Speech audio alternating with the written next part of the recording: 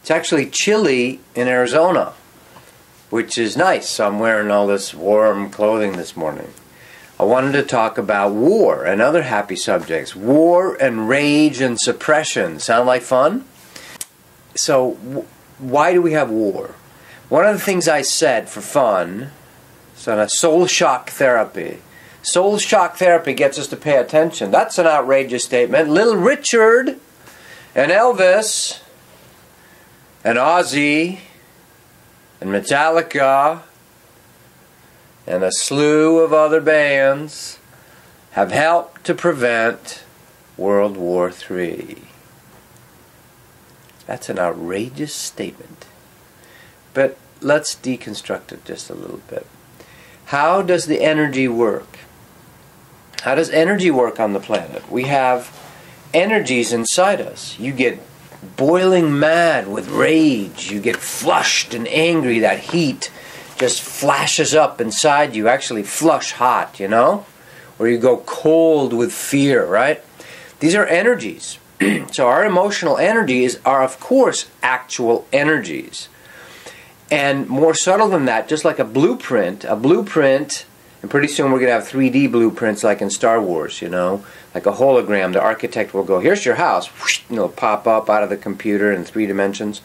Well, our three dimensional blueprints for our feelings and our energy is obviously more powerful because it's the seed idea. Seeds are incredibly powerful because they can grow big trees or you know amazing things so seed ideas are seed energies seed consciousness is more powerful even than the energies themselves so when we have Whenever you have an emotional energy or, or a seed energy sitting inside you and it's there dormant, it's still doing something. That that energy is still doing something. Here's the example I was using.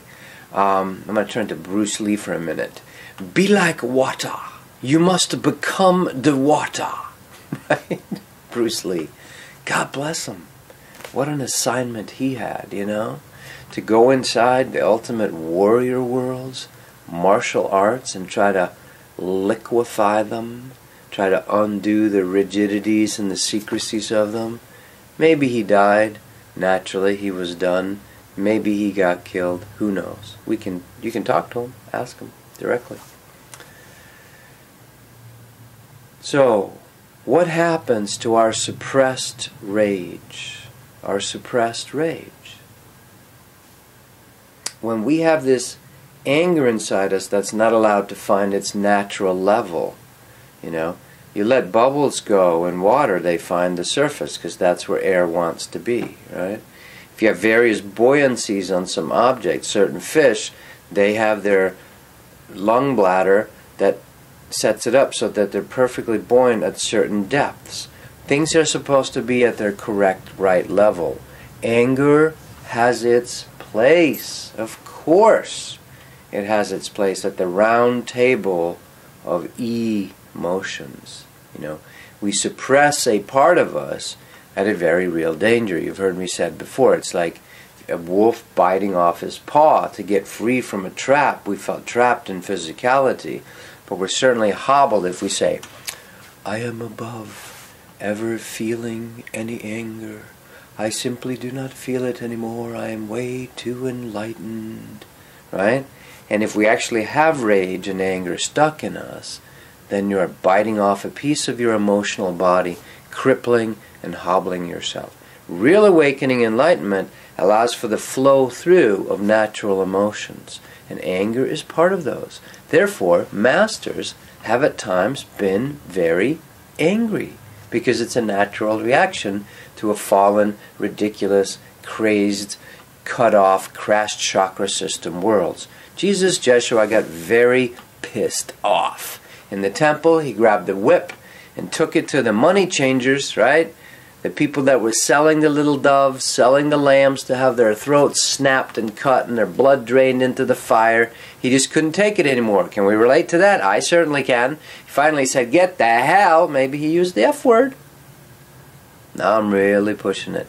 Get that out of my father's house. Took the whip to them, kicked their tables over. Which, by the way, this seemed to precipitate real hostilities from the Pharisees and Sadducees. That once he got into the money game, they got rid of him. That might be the realer story. So, what happens to our rage? Real masters, you'll notice, are interested, are honest about their rage often. Very angry saints have existed. Okay? The peaceful namby-pamby, that's, that's a false image by religionism to get you to abandon your rage, your true anger, your righteous anger. If you abandon that, you lose your fire. You lose the red ray. The rainbow is the full red, orange, yellow, green, blue, indigo, violet. If you lose the bottom, if you got, you know, rock and roll without a bass player, it ain't happening. Acoustic, yeah, it's cute and nice, but you don't feel it, right? So if you lose your bass energies, your red and orange and yellow, you are one crippled human being. Maybe no better than a brain floating in in, in liquid solution. That's not an enjoyable experience. I know I go around this subject a lot because it's very important. So, war is really nothing but an outward manifestation. I get this. Here, here's your energy. You feel righteous anger. Fuck no! This is not correct. We shouldn't be killing 35 million cows a year. Fuck no! We shouldn't be running over the population having cars killing animals on the side of the road. It, right? We shouldn't be genetically modifying food. We shouldn't be uh, teaching our kids the way we do, right? Suppressing their spirits and putting them in little boxes and all. You must learn mathematics and be little mathematical robots because that will solve the solution and we can compete with the Chinese. That's fucking insane. It's insane, right?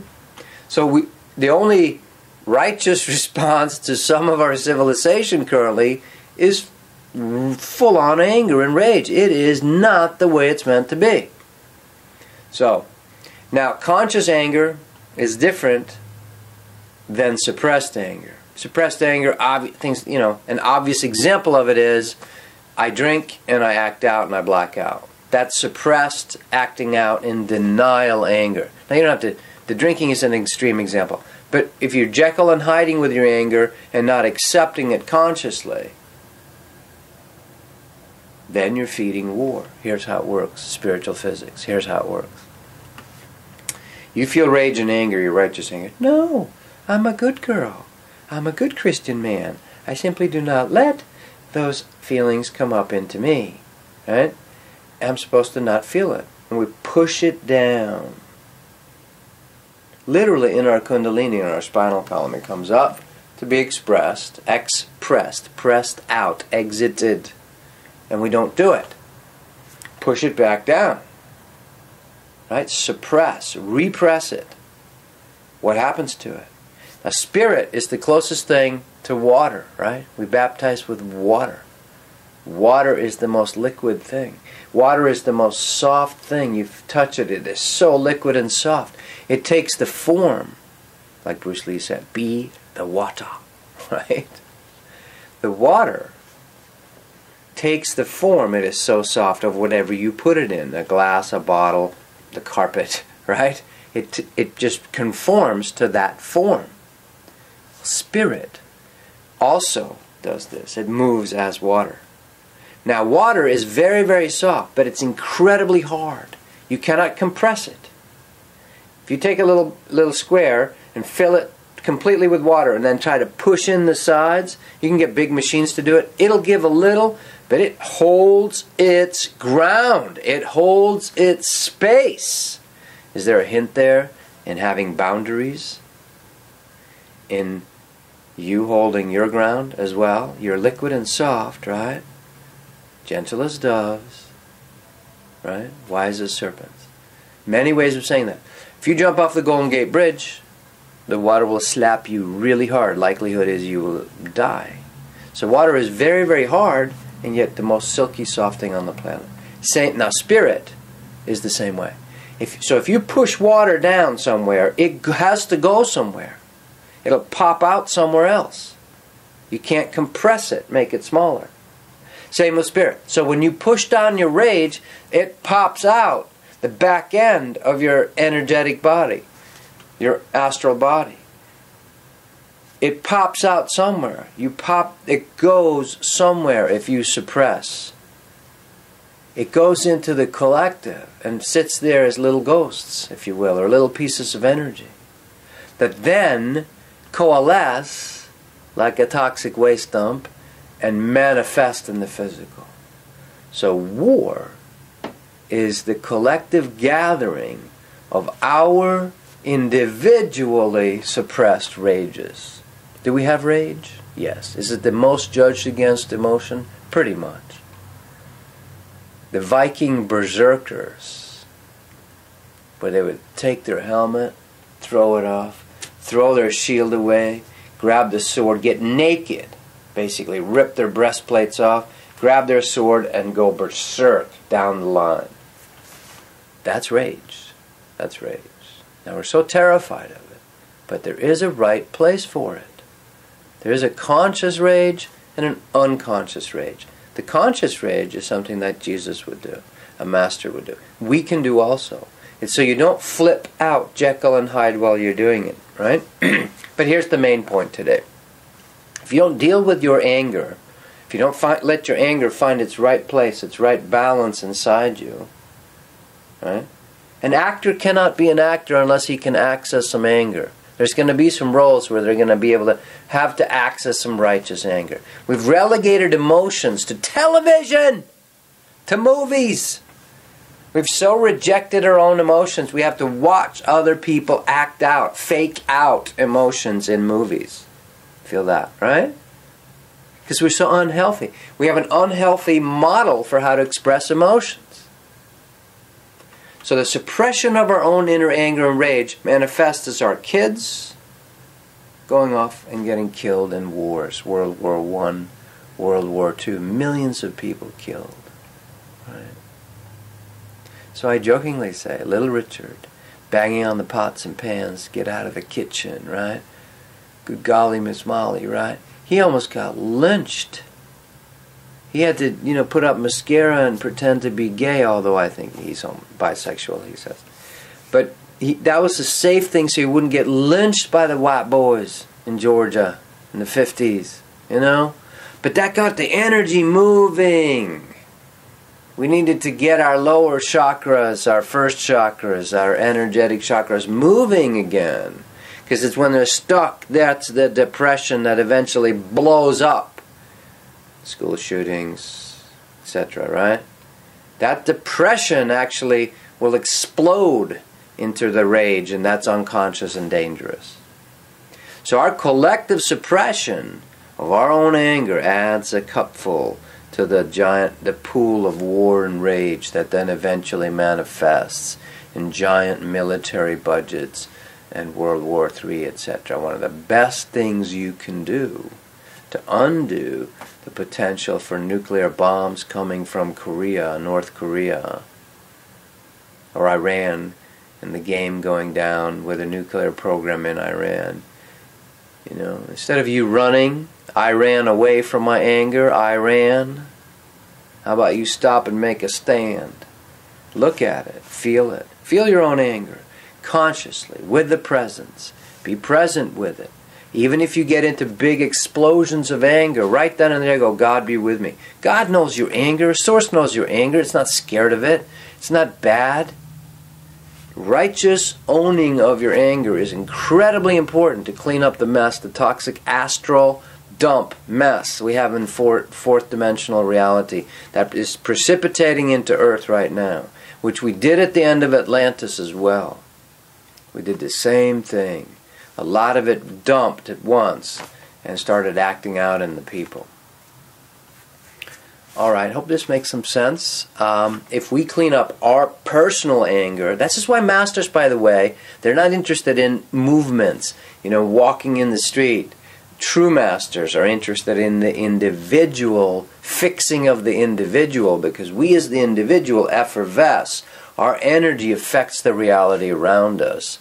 The giant movements like Gandhi did, you know, he wasn't a true yogic master. He had a public movement to do. They have their places, of course, but real awakening teaching usually has to do well, it's all real. It's all good, but true a master, it's hard to say this without people thinking I'm putting one above the other. I'm not. It all has its place. But when you're working on, on the energetic actual changing of human beings, it's not so much about protest movements, it's more about inner work that then translates into healthy expression in the outer world. Clean up your anger, allow your anger to find its rightful place, and you too can prevent forest fires. Only you can prevent World War III. Is true. Is true. Check out um, Awakening Souls and Listening to the Sun, the books on Amazon if you want some more of these tidbits. And The Inner Body Awakening is the most powerful tool. It's an ancient tool. Shiva created it. Other people have talked about it, Eckhart Tolle. But it, I put it into an MP3, and people are saying they're having wonderful results. About two years ago, I asked Source, what can we really help people to solidify, to ground, to get into their bodies, to actually feel spirit instead of just understanding?